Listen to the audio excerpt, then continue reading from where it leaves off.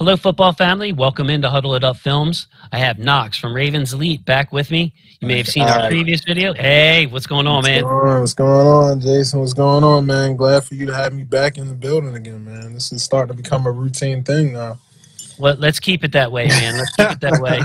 So Yes, uh, don't leave, don't leave me. I know that you have that great podcast with Jameel Ravens Elite Elite coming out on those Mondays at four o'clock, right on time, every time, with some great interaction. Uh, man, Ravens M. I, you know, I was going to do a moment of silence after I heard you, but I didn't want to copy. But I, I, wanted to just, you know, obviously that was such a class move. And uh, Ravens M, in our hearts, we're thinking about you, M. If you're watching this, we love you. And, uh, you know, like I always say, football is family.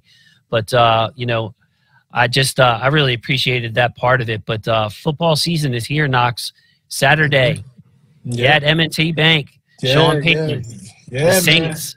We might see Jameis Winston. We might see Ta- uh, Taysom Hill. We don't know what we're seeing, and I don't think we really care. We're worried about ourselves in this game. I don't. Um, yeah, I, don't- I don't. I yeah, Jason. I, I don't know what we're seeing. That, that I think that's the biggest question mark coming in. I mean, with no Drew Brees, not like Drew Brees would be playing in the preseason anyway, but still, like we don't know what to really expect. I mean, we know that Sean Payton is an offensive guru. He's an offensive, you know, great offensive mind, but I mean, yeah, like I, I don't, I don't know what to really expect here. You put, you hit the nail on the head right there. Yeah, like um, and, and and the thing it's I'm excited about is that's the way it goes in the regular season too. So having an opportunity like this where you don't even know what quarterbacks play in, and they're two different styles, you can see two different complete completely different offenses. You're going to have that kind of thing. We saw it last year in that Philadelphia game when uh, everything seemed to be going okay and so they brought in Jalen Hurts, and it really threw us off balance. Um, so uh, a great chance for the Ravens to evaluate some players. So I wanted to bring Knox back on. I'm so glad he joined me to talk about some players and some things to look for this Saturday uh, as we finally get back to football and Ravens Elite finally gets their first football season together. So Yes, Knox, sir. kick it off for me, uh, man. What are you What are you looking for? Who are you looking for? Give me a player or something to look for. Yeah, and I I, think Odafe Oweh is is is a guy that you know everybody should have their eyes on. I mean, I know my eyes is definitely going to be on. Like, you know, this this guy is a, a freak. I mean, this guy is like a freak athlete, and just to see how he stacks up against another team besides us. I mean, we've been seeing so much content against him going against our guys and him getting sacks, and you know, hearing uh Jeff Zrebiec come out and say stuff. Jonas Shaffer come out, Jamison Hensley. They they all got good reports coming out of him. So now it's just created this anticipation. Like, all right, what is this guy going to do on the field? I can't wait to see it in action, like live game action. Like, and it's it, I, that's one of the guys that I'm that I'm I'm looking for. You know, one of the few guys that I'm looking for um, to make you know just to see how how how they use him, how Wink schemes of little things up. We know he's not going to show his whole hand. You know, some basic uh, some basic blitzes or you know some basic stunts. What, what, whatever he he dials up schematically. I'm gonna be definitely uh interested in. How, how about you, man? Who, who who who catches your eye when you when you look at this uh first preseason game versus the Saints? Well, I'm going to talk about somebody uh, uh, that I'm really excited about that I don't think played enough last year. It's a second year player. He's a linebacker, number 40, Malik Harrison. Now, Mm, I already know what Malik brings to the table. So I'm not saying, oh, I, I got to see him because I don't know what to expect. I know what to expect from Malik, and that's a guy that has great vision, great downhill linebacker. I mean, quite honestly, if I was the coach, I would have this man at Mike uh, on the strong side filling gaps. But uh, he's been asked to play a little bit of weak side, a lot of bit of weak side linebacker here. And I want to see how he develops in his coverage, Knox, and with the different Mhm. looks that Sean Payton will give you. And Sean Payton loves to put the defense, even with his vanilla game plan.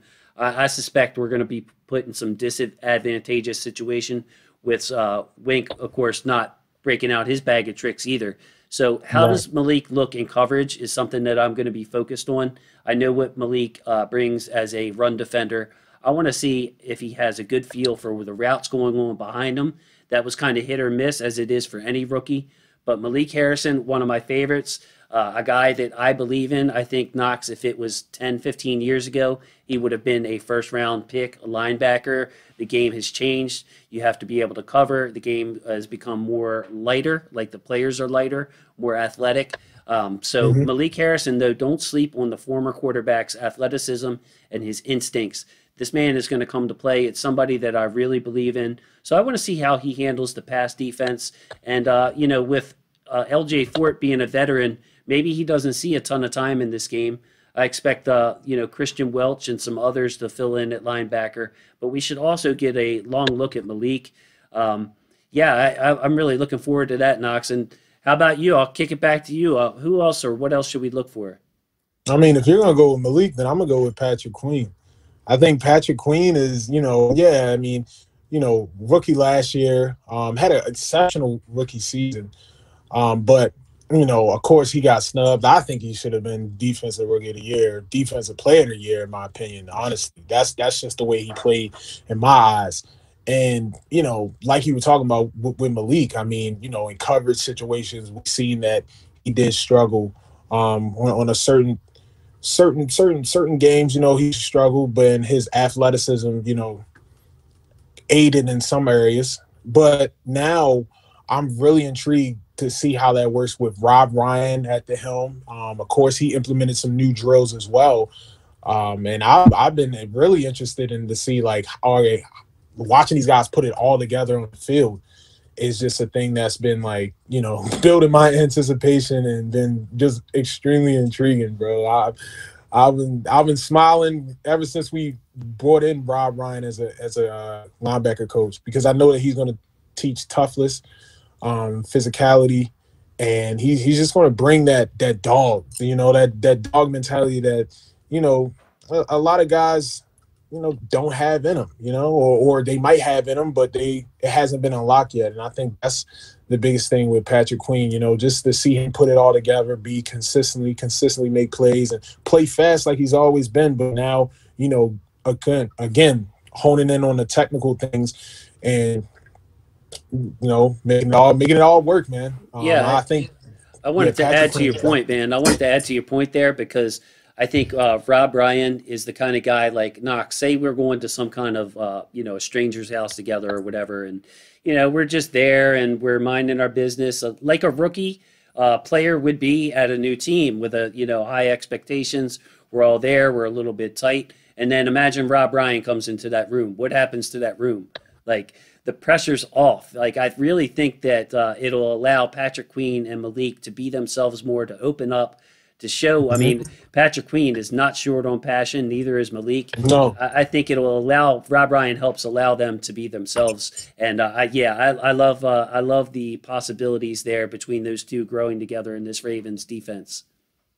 Yeah, I, I I love it too. I mean, I just just like we've we've been spoiled with with the with these with getting these uh linebackers, man. These Mike linebackers getting you know C.J. Mosley and Ray Lewis, and you know just having had just always having like we knew that we were gonna have a good linebacker at that position, and um, you know I, I just want to see you know I know he's he had a lot of added motivation. Um, part of it being snubbed last year for like I told you that defensive player of the year award. He definitely rightfully so deserved that. Um, you know, to beat the year without having off season. You know, without having an off season, mind you, no preseason games to show anything to anybody, and he still played the way he did. I mean, I think that is exceptional, and definitely deserved you know recognition in that in that room. But um, yeah, man. I mean, any any other people that you know are you're thinking about?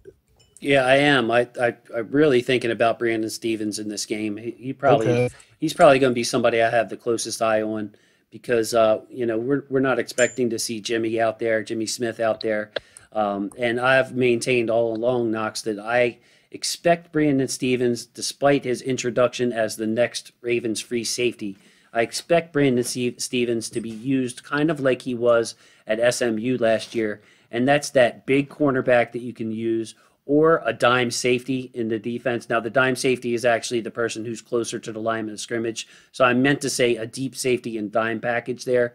But I mm-hmm. want to see how we're using Brandon Stephens, And I think it's really important Um, he's a physical player. I don't think that you can question that being a former running back. He's an athletic player. Uh, you can mm-hmm. tell it by his numbers. So I think that this preseason is more about the mental side of the game for him. And I want to see how caught up mentally he is to the speed of the NFL game, not foot speed. I'm talking about the mental speed of the game. So um, not only from a schematic standpoint, like where are they lining them up and what are they asking them to do, but also how is his head, how is his football intelligence, uh, where is it at after being a running back as of what two or three years ago he was playing running back. So uh, right, quick transition for Brandon Stephens, man. And uh, before I throw it to you for another player, uh, what, what are your comments on Brandon Stephens? I think Brandon Stephens is, like I said, another intriguing prospect. I mean, you know, like you mentioned, a guy that was a running back for UCLA, um, and you know, transferred over to SMU, um, and and you know, I mean, anytime that you're making a position change, it's, it, you always gonna have like that eye. You, you, add a target on your back. You know, can this guy confidently do this? Can he be confident at this position? And can he, you know, get be consistent? I, I feel like um, once you start switching positions, I mean, that's always a hard thing to do is transition. But I mean, he's got some. He, he's got that physicality that he's got from uh, being a running back and he he does have some speed on him, and he does have some length. I mean, he he he has he has the intangibles. I think it's all about, like you said, those real time reps, that real game speed. See how that transitions over, and you know, like like you said, I mean, he can be in that dime package. You know, you can you can see him. You know, if it all works out that way, you know, seeing DeShon Elliott and Chuck Clark, and then you know having him back in there, like that would be just a sight to see. You know how it would actually work. So yeah, I'm, i definitely, I definitely agree with uh, Brandon Stephens being an, another prospect to be looked at.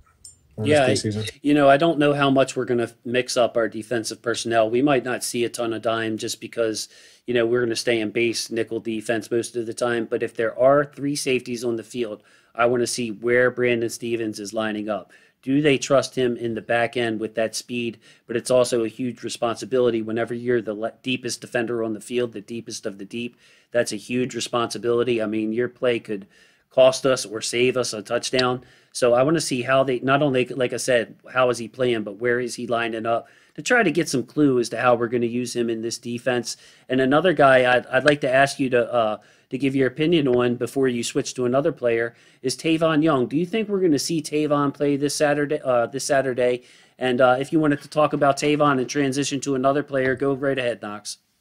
Uh, I think Tavon. I mean, I, at first when when when camp started, you know, I think that was every fan's dream to see Tavon, you know, out there in preseason.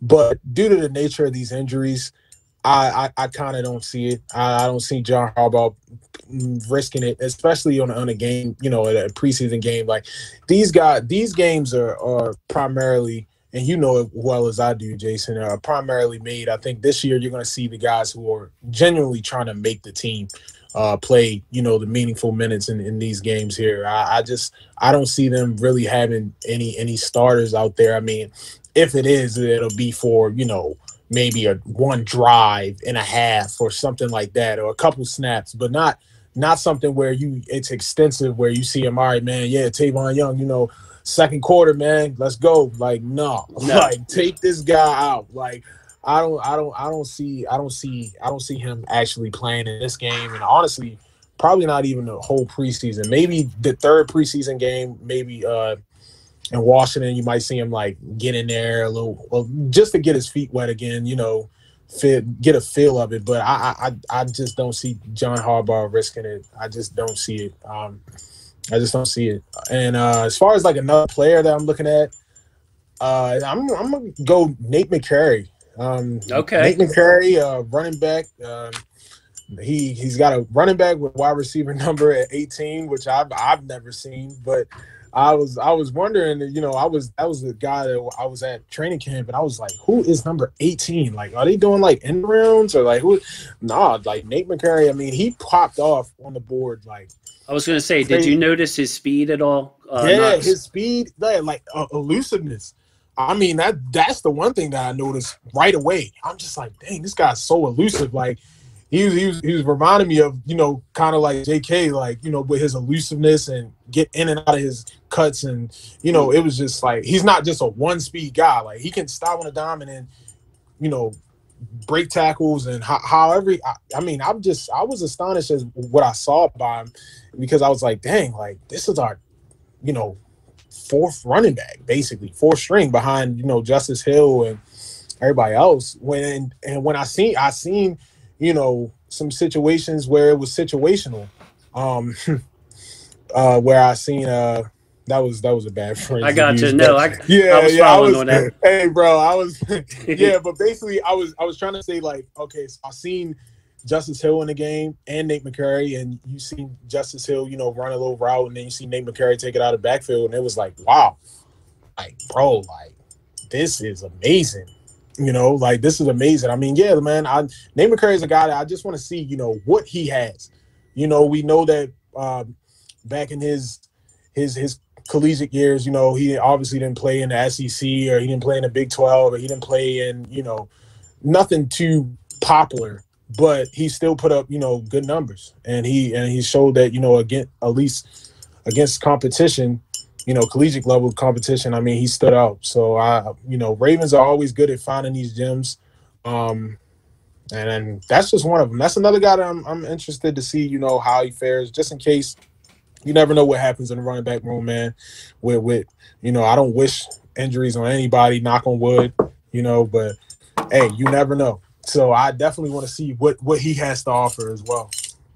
It's a good one, man. That's a good one. I, you know, I, I should have asked you about him when we were talking about you attending training camp because, you know, you get a feel for things as a film guy, and the, the film on uh, McCrary is, is is is hard to find. So, you know, the one thing that I noticed was, man, I know he's playing, you know, guys that are not going to make the NFL or even sniff a you know, an invite, uh, camp invite, but my God, is he flying? Like it, it was, it was, a, it was yeah. a different speed. It was a different speed, and I could see his speed playing even at an NFL level with the the huge jump that he's got and the long shot probably to make the roster. But uh, if you want a home run hitter, I, I, I'm glad to hear that, man. I'm glad to hear that his his speed was flashing at training camp and his elusiveness because that's something that I didn't see. You know what I mean? I didn't have enough tape to really form an opinion yeah. on that. So he he can cut and make you miss too, huh?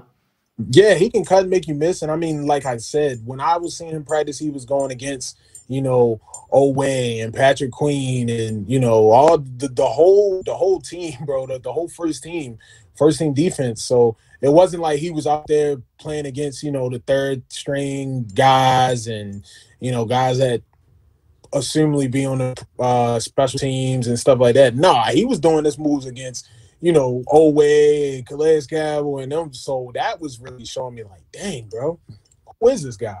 Man, and, you know, beautiful. obviously, yeah, and his jersey number stood out more than anything. Number 18. I mean, you never see that on a running back. I've never seen that. You know, I don't know if it's a practice jersey or whatever, but I mean, he sticks with that one. He'll definitely stand out just off of that alone. But yeah, what do you? So who do you think like?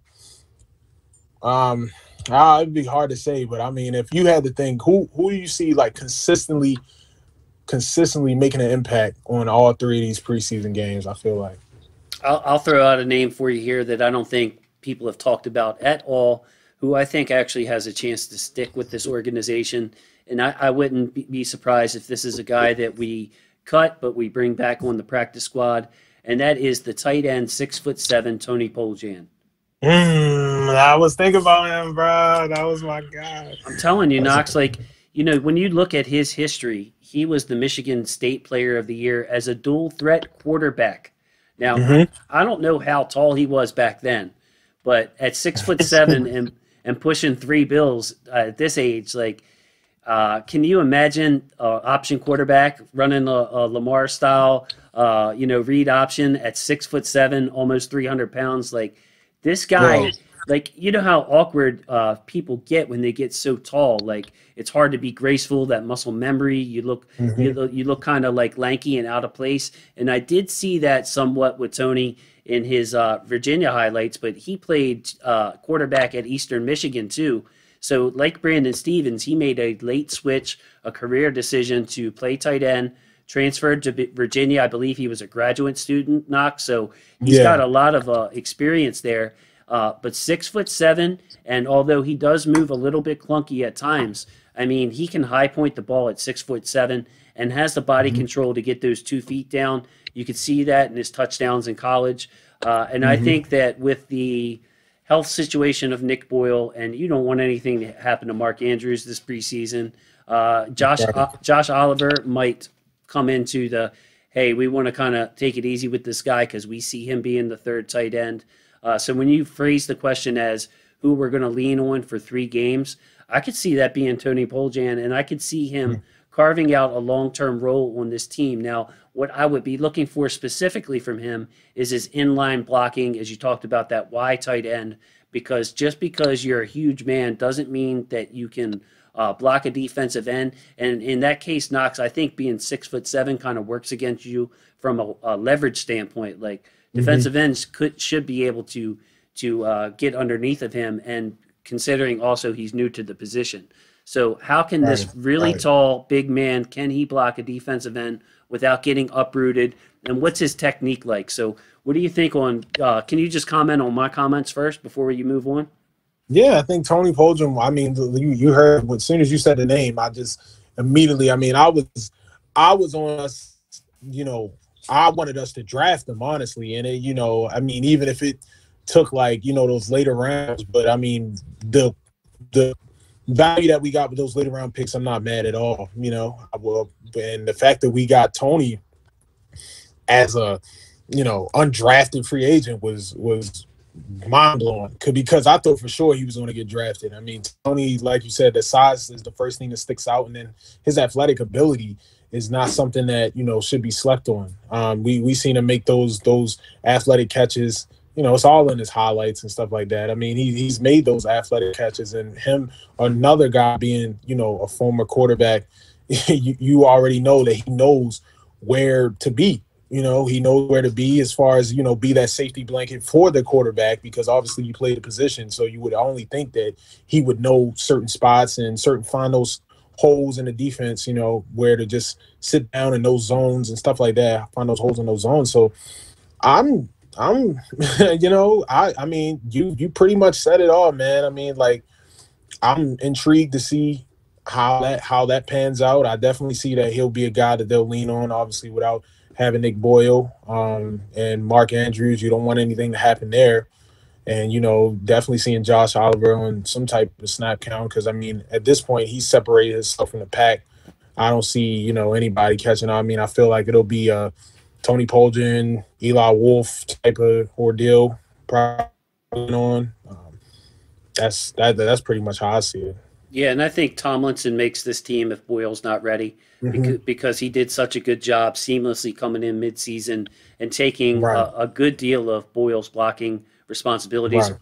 Of course, Pat Ricard took over some, but uh, Eric Tomlinson did a really good job for this team. And if Oh yeah, Nick Boyle's yeah. not ready, Tomlinson is going to be getting some playing time, some snaps, I believe, uh, week one. So I, I think you need a guy like that. Um, also, Knox, I wanted to get your opinion on Tyre Phillips and Bradley Bozeman. Now, the reason I'm saying that is because they're both veterans, quote unquote, uh, younger players, but veterans on their first contract, uh, albeit.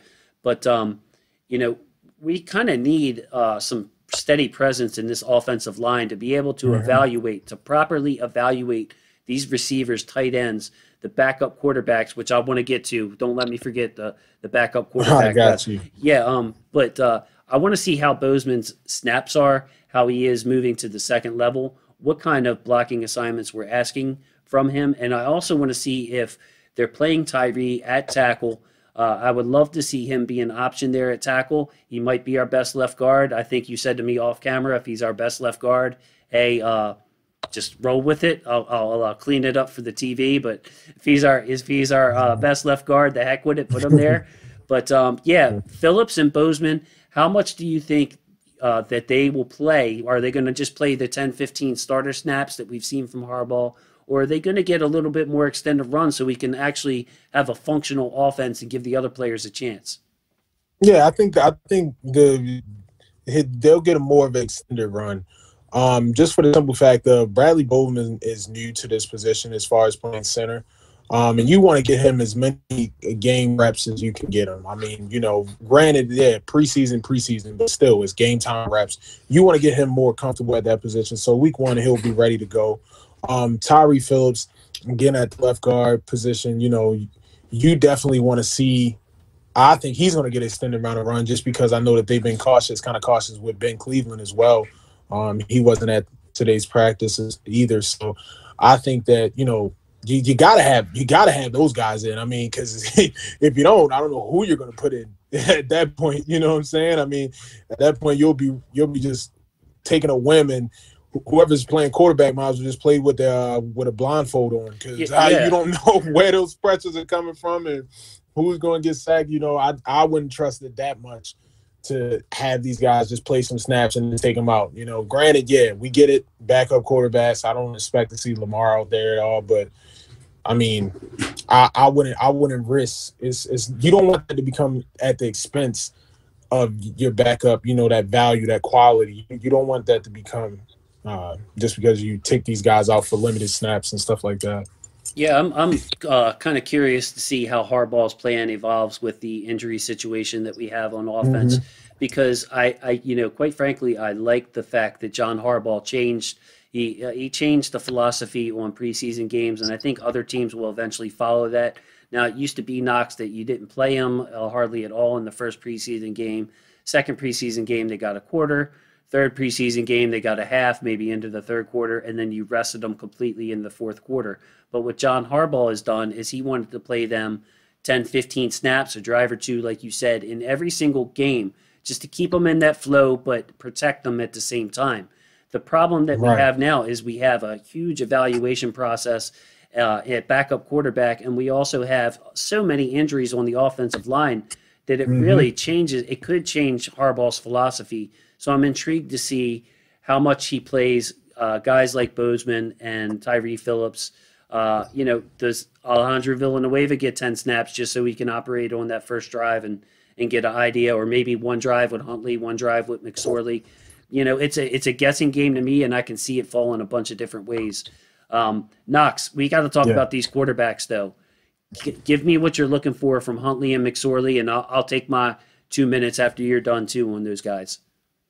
Yeah, I think I think from Huntley, you want to see. I mean, these guys have been able. to You know, it's not like we haven't seen anything from them. I mean, it's been pretty much the whole training camp has been those guys for the most part. So it's like you want to see them continue on um, just doing what they've been doing. I mean, pretty much developing at the position and proving themselves who should be number two and who will be number three. And I think that Tyler Huntley has, I mean, he's been showing me like from the throws that I've seen with him, you know, those those deep ball accuracies and just him assessing certain um just reading certain plays. Uh, I think you know read read certain coverages. That's pretty much what I want to see from Tyler Huntley, being able to read, recognize, and then you know execute.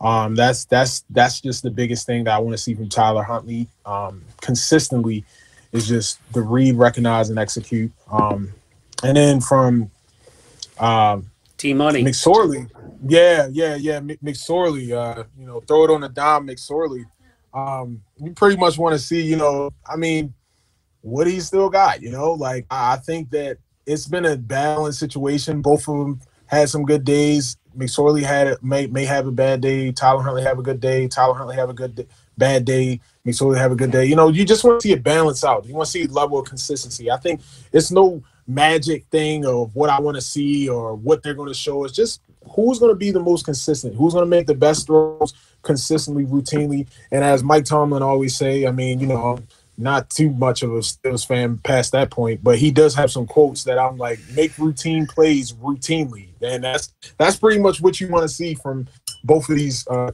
quarterbacks. You know, just who who can consistently make plays. You know, so and and get the ball in playmakers' hands as well, um, picking up this offense. So yeah, I, uh, nice. I tell you, I urge fans to keep an open mind on this situation. It seems like, you know, anything quarterback Knox, people get really dug into their opinions. And that's not just Ravens fans, right. that's fans of any fan base if you keep up with them. people are passionate. Obviously, it's the most important position in sports, uh, the starting quarterback. Uh, so uh, keep an open mind this preseason. If you think McSorley's better or if you think Huntley's better, please. You, I mean, as Ravens fans, we want to see both of them play well. We want to see both of them do well, show out, and have confidence in either one. Because I tell you what, Knox, like I think that I'm, uh, I have a lot of people against me on this point of view but I could definitely see us, and I would sleep a little better at night if we kept three quarterbacks, especially with the COVID protocols, how they are. Mm-hmm. Um, if an injury happens and somebody gets COVID, then all of a sudden we're picking somebody off the street. Like, um, right. and I don't, right. I don't think that uh, McSuntley, Mc, McSorley or Huntley will make it through waivers. I think that there's a strong chance that either one of those mm. guys could get claimed. Uh, you know how uh, important quarterback play is, and you know uh, we have extended rosters, so somebody will have a spot for them. So if uh, we don't keep them and we cut them and they're not part of the 53, I could easily see a quarterback saying, "Oh well, Trace is better than the guy we have," or Huntley shows, "Oh man, we could at least run this offense with with Huntley." Um, so I'm exactly, rooting, I'm rooting for both of them. I'm rooting for good offensive line play. I want to see these guys get a chance to throw uh, with timing to not be so rushed. I mean, of course, you know the the line's going to break down during a regular season game, and you have to make right, the best of that. Right, but right. but just don't be a complete crap show out there to where these guys, we can't evaluate these guys. So I you know I kind of you know I, I don't have a good view. I've seen both of them play, but not enough to where I can say, oh yeah, I like this guy better than that guy. Um, and I think that it's a misconception out there that Huntley fits better in the system than McSorley. Maybe you disagree with that, but like from a running standpoint, obviously Tyler Huntley is electric. Like, um, but you know we still throw the ball a lot. Lamar, uh, like Lamar is a pretty darn good passer too. So uh, being a running quarterback yeah. doesn't mean just because you're a great runner doesn't mean you're a better fit in our system. We're still going to throw the ball 50, 60 percent of the time. So. Uh, man, what a what a battle there. Uh, is there anybody else that you want to touch on or if you want to speak again on the quarterbacks, give me something to wrap up here on Knox. I know you got something else over there. Yeah, I think you know just one more player, and that's Ar'Darius Washington. Um, Ar'Darius Washington has been a guy that you know a lot of fans have been. You know, it grew on a lot of fans. First, first they were doing that who thing, like we would always say, like who is this guy? But now it's like it's been growing on fans, and you start to hear his name a lot. Um, and I mean, Ar'Darius, you know, I mean, I I thought he was a first round talent, you know, second round at, at best. You know, I mean, size is always played to his detriment, unfortunately. But I mean, his instincts, you know, I, I would love to see it on full display. I mean, you're going to see it on full display in the preseason, and um, they've been asking Wink Martindale, and he said, "Yeah, like we'll see. You know how his preseason. I mean, for for everything that I've seen, he was there."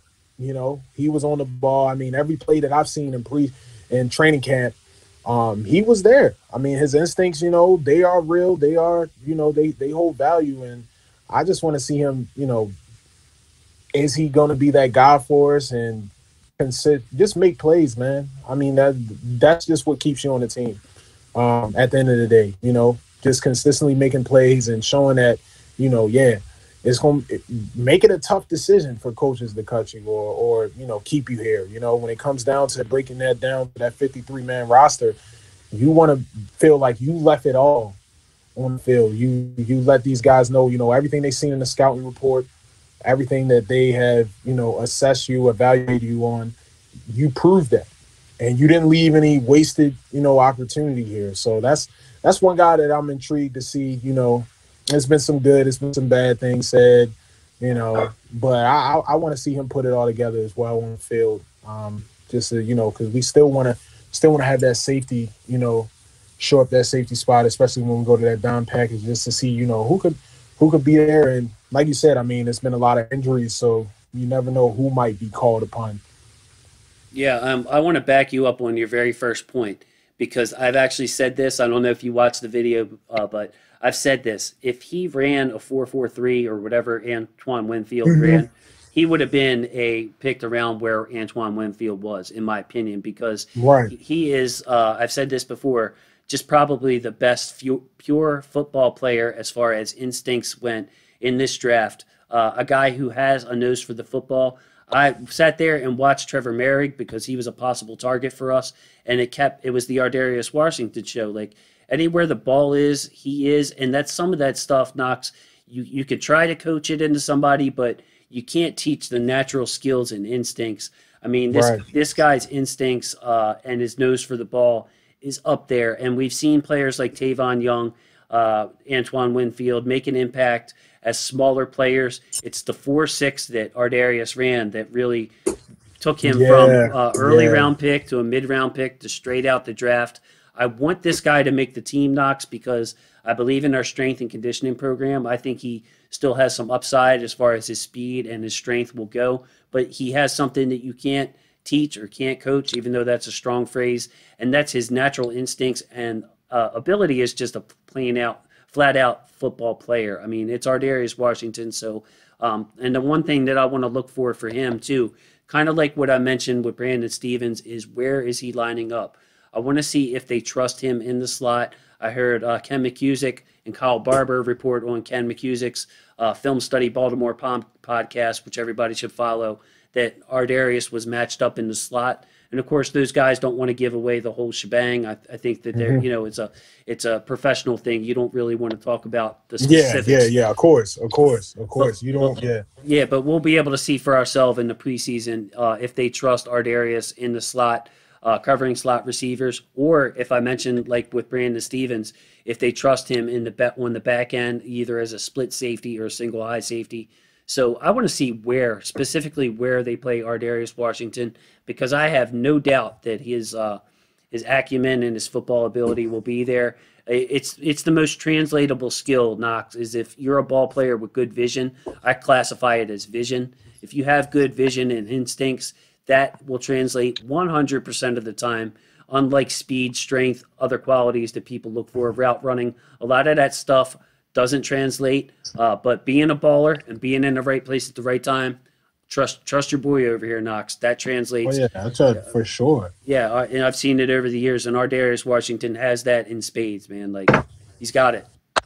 Right. Yeah, I definitely want to see him, and of course, I'm I'm Chris Westry. You know, see, yeah. see just the the whole secondary. You know, just just want to see. I mean, him, Shaun Wade, of course, all all these guys you just want to see all these all these guys, you know, these new pieces that we got, these new additions, to just to see, you know, how they put it all together on the field. I mean, because that's what it comes down to. They, eh, but guys can have good days in practice. They can do well here, do bad this day. But if you put it all together in the preseason, that's when it counts.